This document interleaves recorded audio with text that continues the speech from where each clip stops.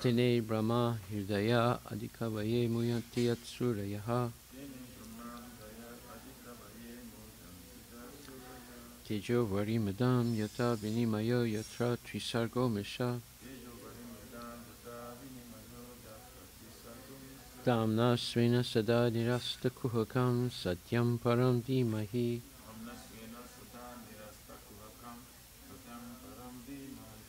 O my Lord, Shri Krishna, son of Vasudeva, all pervading personality of Godhead, offer my respectful obeisances unto you. I meditate upon Lord Shri Krishna because he is the absolute truth and the primeval cause of all causes, of the creation, sustenance, and destruction of the manifested universes. Mm. He is directly and indirectly conscious of all manifestations. And he is independent because there is no other cause beyond him. It is he only who first imparted the Vedic knowledge unto the heart of Brahmaji. The original living being. By him even the great sages and demigods are placed into illusion. As one is bewildered by the illusory representations of water seen on fire or land seen on water. by him even uh, only because of him do the material universes temporarily manifested by the reactions of the three modes of nature appear factual, although they are unreal. I therefore meditate upon him, Lord Sri Krishna, who is eternally existent in the transcendental abode, which is forever free from the illusory representations of the material world. I meditate upon him, for he is the absolute truth. Dharma Projita Kaitravotra Paramo Nimatsaranam Satam Vedyam Vastavam Atra Vastu Shivadam Tapa Trayon Bulanam Shimad Bhagavate Mahamuni Krite Kim va Parer Ishwaraha Sadyo Hridi Avarudyate Tra Sususabis Takshana Completely rejecting all the religious activities which are materially motivated. This Bhagavata Purana propounds the highest truth, which is understandable by those devotees who are fully pure in heart. The highest truth is reality distinguished from illusion for the welfare of all. Such truth uproots the threefold miseries. This beautiful Bhagavatam, compiled by the great sage Vyasadeva in his maturity, is sufficient in itself for God realization. What is the need of any other scripture? As soon as one attentively and submissively hears the message of Bhagavatam, by this culture of knowledge, the Supreme Lord is established within his heart. Nigama kalpaturur galitam phalam. Sukamakad amrita dravya samyutam pibata bhagavatam rasam alayam. Muhur aho raska bhuvi bhavakaha. O expert and thoughtful man, relish Srimad Bhagavatam, the mature fruit of the desire tree of Vedic literatures. It emanated from the lips of Sri Sukadeva Goswami. Therefore, this fruit has become even more tasteful. Although its nectarian juice was already relishable for all, including, including liberated souls. Shinvatam Swakata Krishna Punya Shravana Kirtana.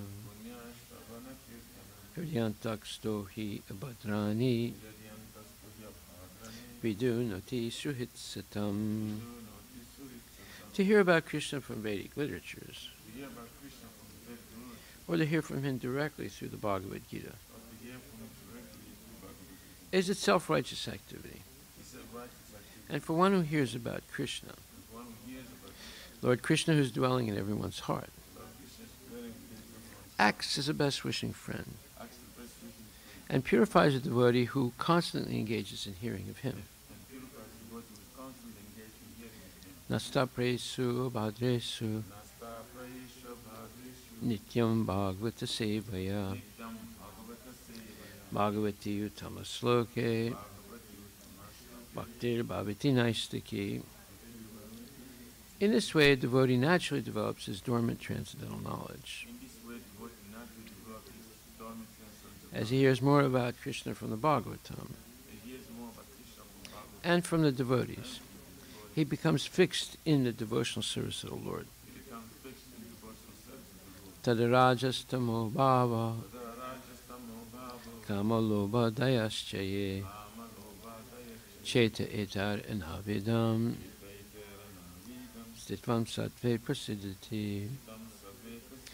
By development of devotional service, one becomes freed from the modes of passion and ignorance. And thus, uh, and thus, material lust and avarice are diminished.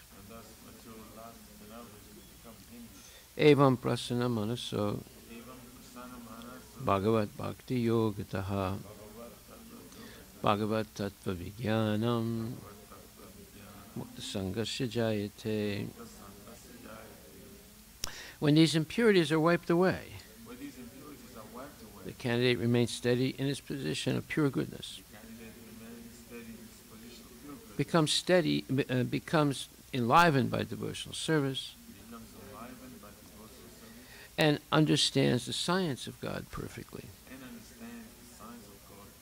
Vidyate hridaya grantis chidyante sarvasamsaya Siyante Chasya Karmani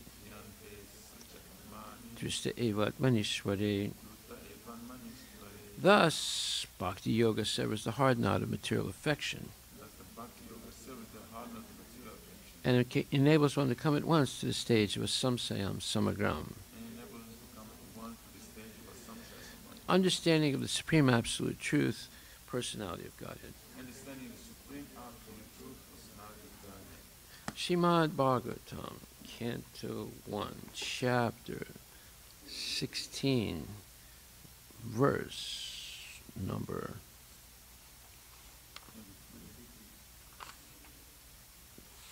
Twenty-three.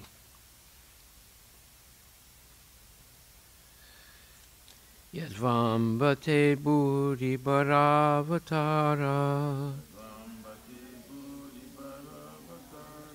Kritavatarasya Hare Daritri.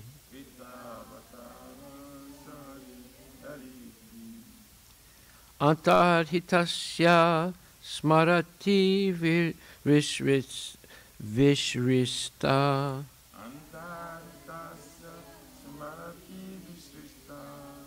Karmani nirvana vilambitani. Translation by Srila Prabhupada Kijay. O Mother Earth, the Supreme Personality of Godhead, Hari, incarnated himself as Lord Sri Krishna just to unload your heavy burden. All his activities here are transcendental and they cement the path of liberation. You are now bereft of his presence. You are probably now thinking of those activities and feeling sorry in their absence. Purport by His Divine Grace, A.C. Bhaktivedanta Swami, Srila Prabhupada Ki Jai.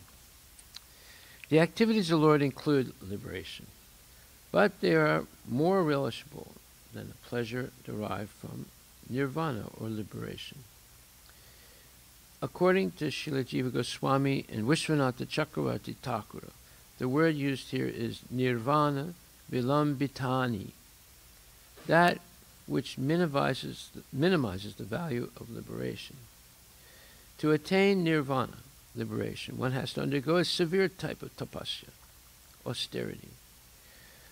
But the Lord is so merciful that he incarnates to diminish the burden of the earth.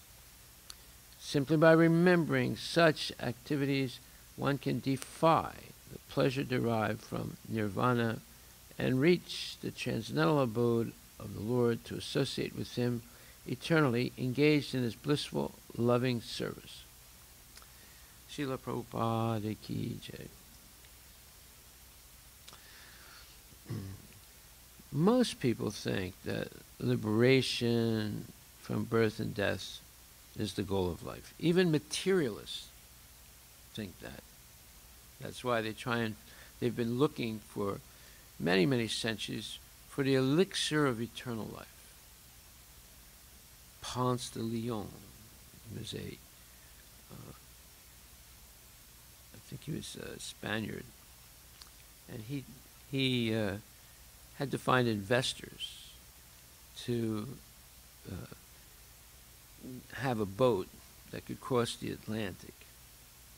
Just like now, uh, SpaceX and, and uh, other people are, are, trying to find investors to build uh, airplane rockets that can go into space, like 100 or 200 miles, so people can uh, go up high into the sky and see the the roundness of the earth.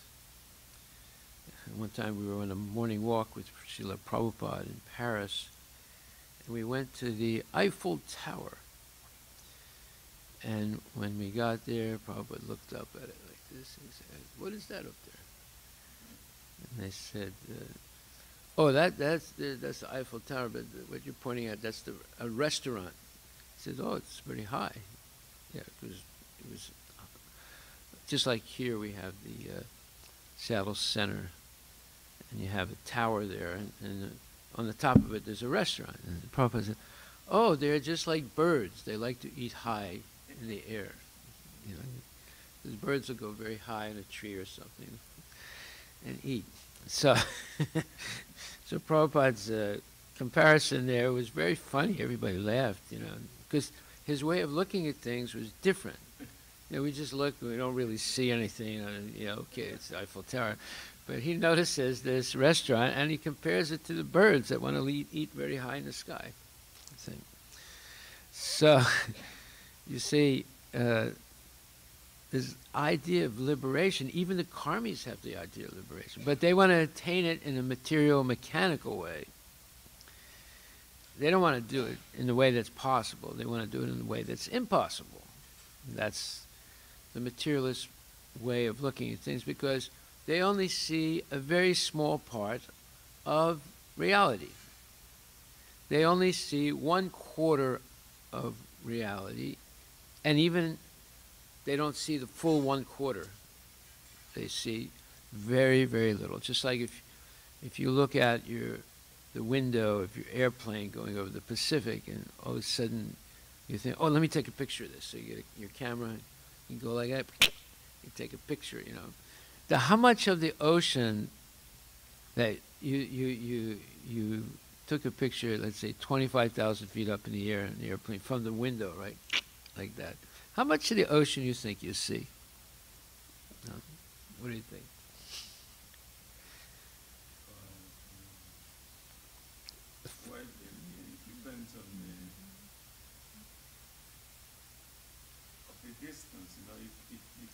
You're 25,000 feet up there, and you're going uh, 500 miles an hour. There might even be clouds also. you don't see you don't you don't see even one percent of the ocean. You see one billionth of a percent of the ocean, maybe even more, one trillionth. You know how big the Pacific Ocean is, right? And you're up there 25,000 feet, and you have some camera, some phony camera, and you take a picture and you say, "Oh, I, I, I, I took a photo of the ocean, but what did you see exactly?" Nothing, almost nothing. Less than less than one millionth of a of a percent, you know. Not even that. So this whole idea of uh, studying only one up to one fourth of of uh, reality and thinking that you understand something about it. it is nonsense. I mean, they don't even understand one fourth, right? The material world is only the whole, all the material universes together, and there's billions of universes, is one fourth of uh, the creation of God. So, we're we're in a little planet in a small universe because our Brahma only has four heads, right? There are other universes much bigger than this one, and there's billions of them, and all of them put together is not even one fourth of the creation of Krishna. So, what do the scientists actually know? They, they hardly know anything. And yet they're talking about attaining immortality or getting liberation. It's all nonsense. It, there's no there's no reality to it. It's it's it's just fiction, complete fiction. See, there's there are uh, books that are nonfiction and there are books that are fiction. All the science books that they write today is fiction. Very little facts and real facts in them. So here we see that okay, the activities of the Lord include liberation, but they are more relishable Uh, the activities of the Lord include liberation, but they are more relishable than the pleasure derived from nirvana or liberation. In other words, Krishna's pastimes, that includes liberation, yeah, but his actual pastimes are much more relishable than the liberation of the Buddhist or the liberation of the Mayavadi. The Buddhist is looking for nirvana, and the Mayavadi is looking for uh, Brahman. But they're nothing compared to the transcendental activities of the Lord. So, uh, actually, uh, the word used by Srila Jiva Goswami and Vishwanath Chakravarti Thakur uh, to describe liberation is nirvana vilambitani, that which minimizes the value of liberation. So, so that's right away a little shock uh, if you understand Sanskrit. To attain nirvana, liberation, one has to undergo a severe type of tapasya or austerity. But the Lord is so merciful that he incarnates to diminish the burden of the earth. So, in other words, what, what, what Prabhupada is saying here is and what this verse is implying by the choice of words is that the Lord comes and gives an example of eternal bliss and knowledge. And the Mayavadis want to restrict us to severe tapasya, denying everything, uh, including the Lord, the personality of the Godhead, and uh, going through a, a very difficult, hard to perform type of austerity to attain what they call nirvana or Brahman. You see? So that's why it says uh, nirvana vilambitani, that which minimizes the value of liberation. If you have to get liberated by going through such a, a very difficult process, you, are actually uh, minimizing the value of liberation. But yet, in the material, the materialists, they like to suffer in order to enjoy happiness.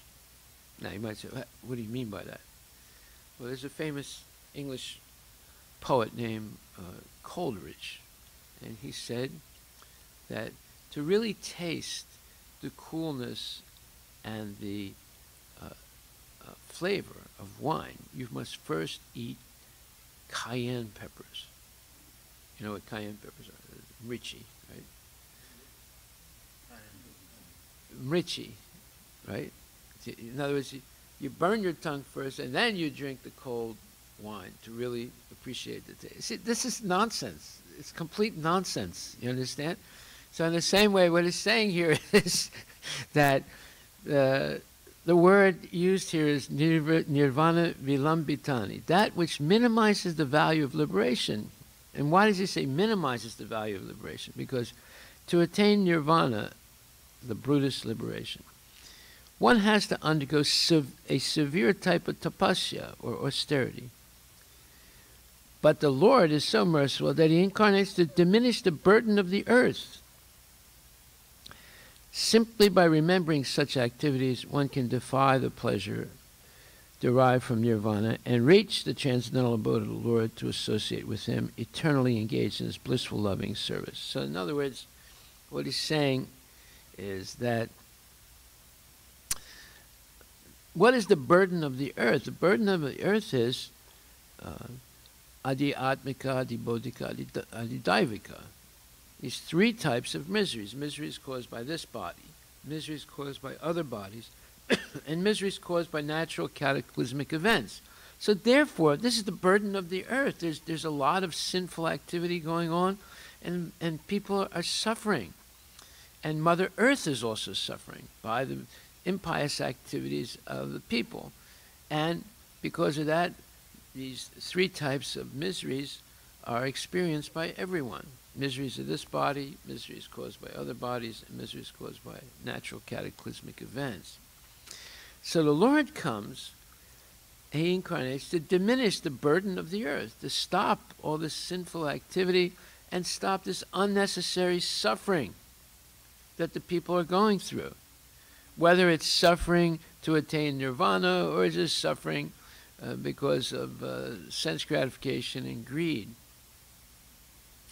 So if we simply remember the transcendental activities of the Lord, just like when the cowherd boys walked into the gigantic mouth, mouth of Aghasura, they thought, oh, what a big cave. Let's go and explore. You know, they didn't realize it's this gigantic mouth of this huge snake, and inside uh, there is it's dark and it's, it's, poisonous. So they walk in there, and then suddenly they're trapped. So what does Krishna do? He also walks in there in, with his apparently little body, and then when he gets into the throat of that gigantic snake, he begins to expand himself. So, Anora Aniyam, Aniyam in other words, the Lord is smaller than the smallest, and he's bigger than the biggest. Mahina Mahima, he's bigger than the biggest. So he expands himself and he chokes the snake, Aghasura, and saves the cowherd boys. So these are wonderful pastimes. They're happy. And just like the Kaliya snake, Lord, the Lord in his uh, little childish childhood body uh, enters into the Yamuna to stop the snake from poisoning everyone. And the cowherd boys have already, in a sense, died. You know, he brings him back to life, and he jumps into the Yamuna, and, and somehow or other he wrestles himself out of the tentacles of Kaliya. Kaliya has many heads and many tentacles, and he's, he starts dancing on the heads of Kaliya. And every time he's kicking the head, the different heads, with his feet, just like the Bharatanatyam dancer, you know, you hear, you hear them like this, you know, when they're dancing, right? And the Lord starts dancing ecstatically, and every time he kicks one head of the snake, each snake spits out uh, his poison until he's completely exhausted. And and then the wives of Kaliya, they pray to the Lord. They said, please, this is our husband. And we know he's, he's, he's a nonsense, but uh, now you've defeated him. Please uh, be merciful to him. So he said, okay, well, you go to Fiji. You get out of here. Don't never come back. You go to Fiji. You, you hang out there for the for forever. so if you go to Fiji, the Fiji they worship Kaliya, you know, the Hindus, and uh, in a sense because he became a devotee. So we see all these pastimes are transcendental, right? It looks like the end of the world, but actually the Lord makes it a happy uh, ending. It used to be before then, all the movies had a happy ending. Nowadays, they make movies with sad endings, you know, miserable endings. And, and people go to get entertained and they end up coming out crying and, uh, upset and uh, full of anxiety. you see. So uh, there's always a happy ending in Krishna's pastimes. So simply by remembering such activities, one can defy the pleasure derived from nirvana and reach the transcendental abode of the Lord to associate with Him eternally, engaged in His blissful, loving service. Janmakarma chame divyam ivam yoveti tatvata tyakva deham punarjanma naitimam eti sarjana. So Krishna says in the fourth chapter, verse number nine, he says that one who knows the transcendental nature of my appearance and activities does not, upon leaving the body, take his birth again in this world, material world, but attains my eternal abode, O Arjuna. So this knowledge of Krishna's pastimes is so powerful that you can attain liberation, but not by sleeping on a bed of nails in a dark, dank, cold uh, cave in the Himalayas and doing uh, all kinds of tapasyas or, or being immersed in the freezing waters of the Ganges in wintertime in, in uh, uh, Haridwar or, or Rishikesh. Right? You, you don't have to do that. You can just meditate on the transcendental pastimes of the Lord and you attain liberation happily without going through all that suffering and be inspired by the Lord's transcendental activities. Okay? The Lord's descent from his transcendental abode is already explained in the sixth verse. One who can understand the truth of the appearance of the personality Godhead is already liberated from material bondage, and therefore he returns to the kingdom of God immediately after quitting this present material body. Such liberation of the living entity from material bondage is not at all easy. The impersonalists and the yogis attain liberation only after much trouble and many, many births. Even then, the liber- liberation they achieve, merging into the impersonal Brahmajyoti of the Lord, is only partial. And there is the risk of returning to the material world. You see? So it's no, that's no guarantee, even though they attain, not many of them attain Brahman. Very few, in fact. But even those few, it's almost certain that they'll fall down again. So, so therefore, uh, there's a risk of returning to the material. But the devotee, simply by understanding the transcendental nature of the body and activities of the Lord, attains the abode of the Lord after ending this body and does not run the risk of returning to this material world. In the Brahma Samhita 533, it is stated that the Lord has many, many forms and incarnations, Advaitam, Achyutam, Anadim, Rupam. Although there, may, there are many transcendental forms of the Lord, there is still one and the same Supreme Personality of Godhead. One has to understand this fact with conviction, although it is incomprehensible to mundane scholars and empiric philosophers. So, this verse is wonderful because it's explaining, I mean, the, the, verse that we read today, explaining that we don't have to go through the trouble of the Mayavadis and the Buddhists to attain liberation. We simply meditate on the pastimes of the Lord.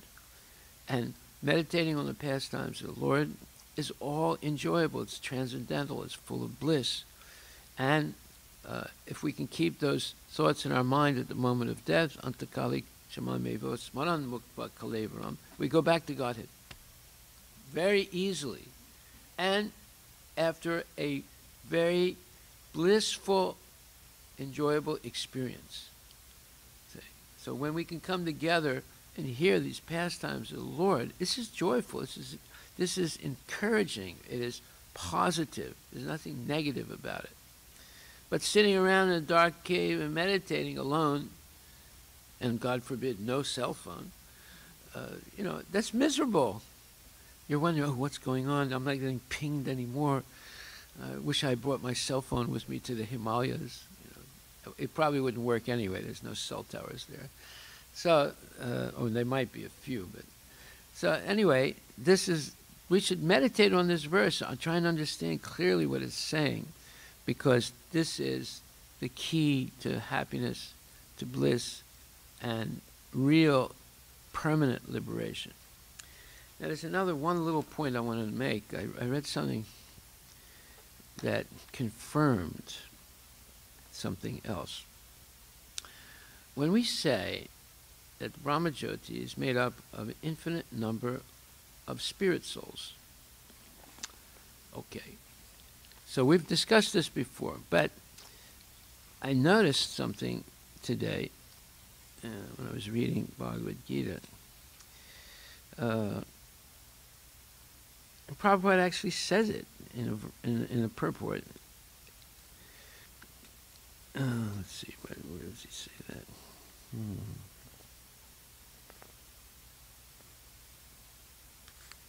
Yeah, okay.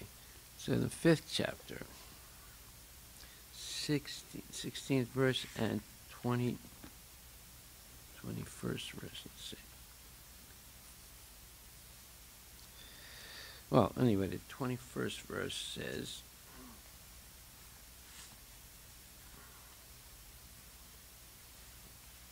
the Bhagavad Gita is so old, I can't even open the pages anymore. Mm.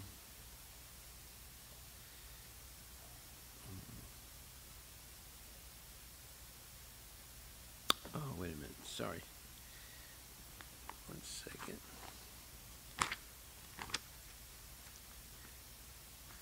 Whenever I find new things.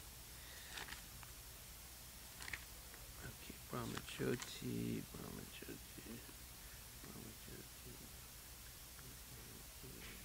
521. 521.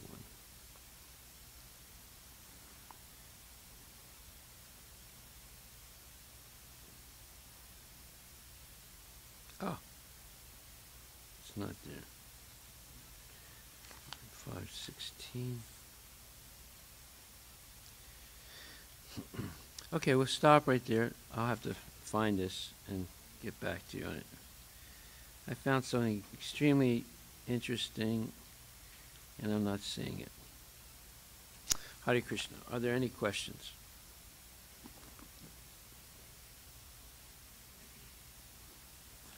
Yes. There are people like those, uh, uh, they, they say like, like our own people, they say like, uh, I know the goal of, uh, as soon as we talk about Krishna consciousness, they, say, they say, I know the goal of life, nirvana.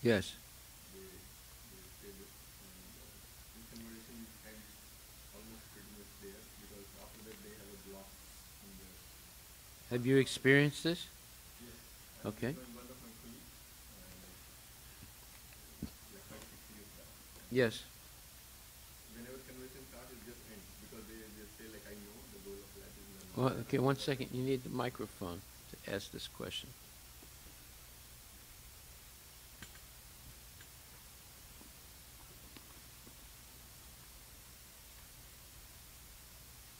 Start all over and ask the question.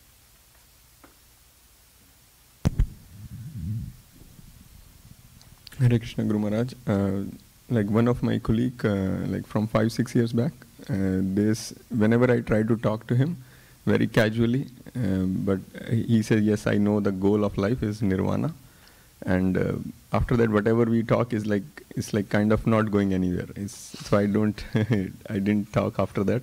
Okay. I tried couple times very casually, but it didn't go anywhere. So because they say like I know the goal of life is nirvana, and they have they have some conception they are following uh, uh, to Okay.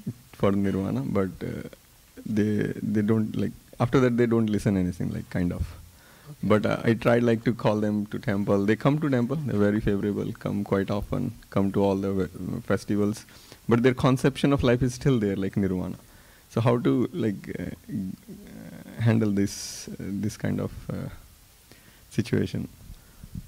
Okay, first let me answer my what, what I didn't find. It's the second chapter, 24th verse. It says, After liberation from material contamination, the atomic soul may prefer to remain as a spiritual spark in the effulgent rays of the Supreme Personality of Godhead.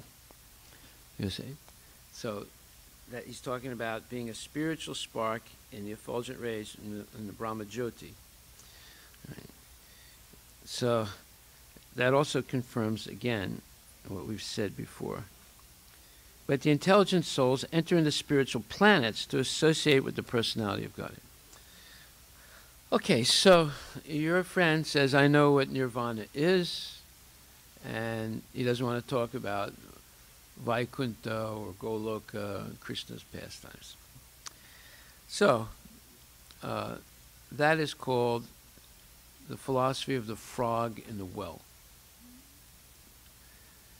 That as soon as you put a limit on your possibility of progressing spiritually, you're like the frog in the well. And you say, well, look, right now you are experiencing a family, you're experiencing festivals where a lot of people are there, you're experiencing a workplace where there are many people there, and you want to claim that the perfection of all realization is non-personal, un, with no persons involved, and, and, and your person, your personality also has to be rejected in order to attain it. When every experience you have and experiences of mostly happiness are with other individuals. So you see, it is a complete. In other words, this world is a perverted reflection of the spiritual world. That means there, there's so many people in this world. There's there's people there also, but without the perverted nature. So he's claiming that no, there's, there's a place where there's no people. And I'm not a real person either. I'm going to merge into that. You see. So that is a contradiction of everything that's being said in Bhagavad Gita. But if a person wants something like that, it, it exists. It's called the Brahma Jyoti right? But your position in Brahmajyoti is, is not uh, permanent. You, you will definitely at some point fall back down again and start all over. Why? Because you're not taking, like, let's say you go in a rocket and to outer space and you, you're aiming for Mars, but they made a mistake in calculation. It goes it goes past Mars into space. What would happen to you? Right? You, you'd be dead. You know, you missed because you have to have shelter on you have to take shelter on a planet so we're talking about much greater expansion of space when you talk about Vaikuntha than the whole material creation right and if they just merge into the Brahma Jyoti and don't take shelter on one of the Vaikuntha planets they're going to fall down it's just a matter of time because the nature of the soul is to be active. This is explained in third chapter of Bhagavad Gita. And, and in order to attain their nirvana, they have to become inactive. So if we look at the third chapter, it said, Nahi kaschit shanamapi jatutistatya karma krit karyate hi avasa karma sarva prakriti jayaguna. Everyone is forced to act helplessly according to the qualities he has acquired from the modes of material nature. Therefore, no one can refrain from doing something, not even for a moment. You can ask him, you can say, Well, you want to attain nirvana. Do you want to do it by meditation? He'll say, Yes. You say, well, well, how long are you meditating every day? He said, Well, I do this uh, 10 minutes in the morning, 10 minutes at night. I said, But you'll never attain your nirvana by doing that. You have to eventually do it 24 hours a day, right? Is it possible for him to do that? No. So he's talking nonsense, you see. And here it says it is not a question of embodied life, but it is the nature of the soul to be always active. Without the presence of the spirit soul, the material body cannot move. The body is only a dead vehicle to be worked by the spirit soul, which is always active and cannot stop even for a moment. So you see, he's going to try and attain liberation by this very difficult and almost impossible process of stopping all thought stopping all interaction, stopping all activity, and meditating on some light or nothing, right? And, and it's almost impossible for a person to do that. Maybe there's a few people that do it. And what do they attain? They attain impersonality and just floating in this light, and eventually they'll fall down because it's not the nature of the soul. Tell him, tell him, okay, look, you go and do vipassana for 10 days. And when it's over, right, you come back again. You, you, why don't you just stay there the rest of your life? Do vipassana. Just stay there. Don't talk, you know. No, they can't do that. You understand? And they're, they're claiming that they're going to do that eternally. It's not possible. So you start from the known to do the to understand the unknown. Let them go and do vipassana, not just for eleven days. Let him do it for, let's say, one year. Then he won't do it. He'll come back. Okay. So this verse is third chapter, fifth verse. You can't you can't even stop for a, a minute. It's the nature of the soul to be active. And they're going to stop for eternity. Say that's nonsense.